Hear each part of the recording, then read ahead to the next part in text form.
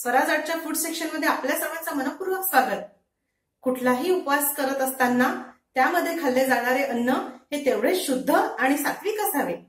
त्यामुळे आज आपण बघणार आहोत घरच्या घरी बनवलेली उपवासाची भाजणी. या भाजणीपासून विविध पदार्थ बनवता येतात. जसे की थालीपीठ दशमी धिरडी आणि उपवासाचे अप्पे चला तर मग बघूयात उपवासाची ही भाजणी. उपवासाची भाजणी तयार करण्यासाठी काय काय साहित्य लागणार आहे ते आपण बघणार आहोत. इथे मी घेतला आहे अर्धा किलो राजगिरा पाव किलो भगर आणि दीडशे ग्रॅम साबुदाणा आणि साधारण दोन ते तीन टेबलस्पून आपल्याला जिरे घ्यायचे आहे. राजगिरा आणि भगर मी स्वच्छ धुवून आणि उन्हामध्ये कडकडीत वाळवून घेतला आहे आणि साबुदाणा कापडानेच एक ते दोन वेळा पुसून घेतला आहे. चला तर मग बघूयात आता कृती. सर्वात आधी कढईमध्ये साबुदाणा भाजून घ्यायचा आहे. साबुदाण्याचं प्रमाण शक्यतोवर कमी असावं भाजणीमध्ये. म्हणजे थालीपीठ किंवा आप्पे किंवा दशम्या जे काही तुम्ही बनवणार आहे ते फार असं चिकट होणार नाही आणि पचण्याच्या दृष्टीने सुद्धा ते हलकं होतं.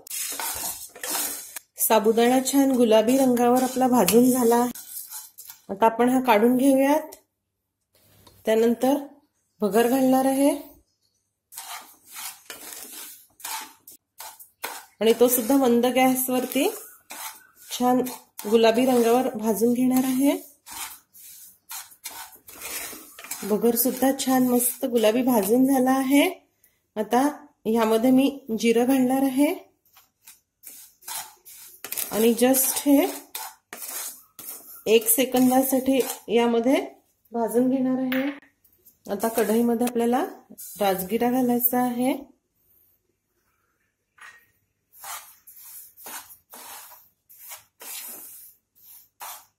आणि मंद आचेवर हा सुद्धा आपल्याला तांबड्या रंगावर छान खरपूस भाजून घ्यायचा आहे. राजगिरा सुद्धा छान खमंग भाजून झाला आहे. आपल्याला अगदी लाह्या फुटेपर्यंत याला नाही भाजायचं कारण थालीपीठांची चव मग जळकट लागते. आता गॅस बंद करून आपण हा सुद्धा मोठ्या ताटामध्ये काढून घेऊयात.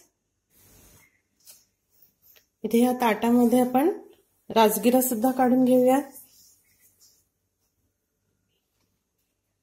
आणि हे छान मिक्स करायचं आहे आणि थंड करून घ्यायचं आहे. जिरं आपल्याला भाजायचं नाही आहे जास्त कारण जिरं वेगळं भाजल्यामुळे ते कळवट लागतं. छान.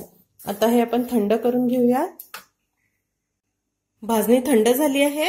आता मिक्सरमध्ये आपल्याला ती बारीक करून घ्यायची आहे. तुमच्याकडे जर घरची छोटी गिरणी असेल तर ती सुद्धा स्वच्छ पुसून तुम्ही त्यामध्ये सुद्धा हे पीठ छान दळू शकता. लक्षात ठेवायचं आहे की आपल्याला खूप बारीक पीठ करायचं नाही आहे किंचित जाडसरच त्याचं पीठ ठेवायचं आहे. जेणेकरून थालीपीठ किंवा दशम्या धिरडी जे तुम्ही काही बनवणार ते छान पोकळ असं होईल. भाजणी तयार आहे. अशीच बाकी सर्व भाजणी मी आता बारीक करून घेणार आहे. छान मिक्स करून घ्यायची आहे. साधारण पंधरा ते वीस मिनिटानंतर लॉक अँड सिल्कच्या बॅगमध्ये जर तुम्ही ह्याचे छोटे छोटे वन टाइम यूजचे पॅक बनवून ठेवले तर फ्रीजमध्ये अगदी चार ते पाच महिने सुद्धा हे पॅक्स खूप छान राहतात. आणि बाहेर जर तुम्हाला ठेवायची असेल तर एक महिन्यामध्ये मात्र ही भाजणी तुम्हाला खर्च करायला लागेल. आजची माझी रेसिपी तुम्हाला कशी वाटली हे मला जरूर जरूर कळवा. तुम्ही नक्की करून बघा. आणि तुम्हाला जर माझी आजची रेसिपी आवडली असेल तर रेसिपीला लाईक करायला आणि शेअर करायला विसरू नका. माझ्या चॅनलला सुद्धा नक्की सबस्क्राईब करा. अशीच एक छानशी रेसिपी घेऊन भेटूया स्वराजाटच्या पुढच्या भागामध्ये. तोपर्यंत चवीने खा आणि निरोगी राहा.